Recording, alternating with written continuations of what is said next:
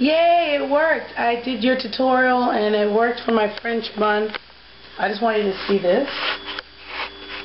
I don't know. Um,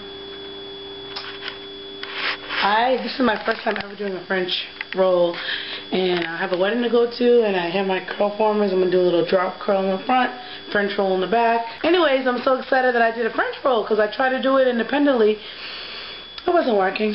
Looked at your tutorial and that helped a lot. So let me show see if I can show it to you one more time. Let see if you can. Looks good, right? Alright, here's the final results. Of course, I'm running late for my wedding, so I just want to be really quick. Look at this. Isn't this cute?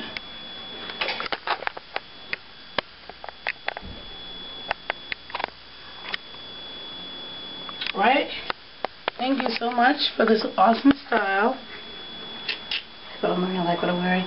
Can't really show it off, but... Alrighty. Thanks.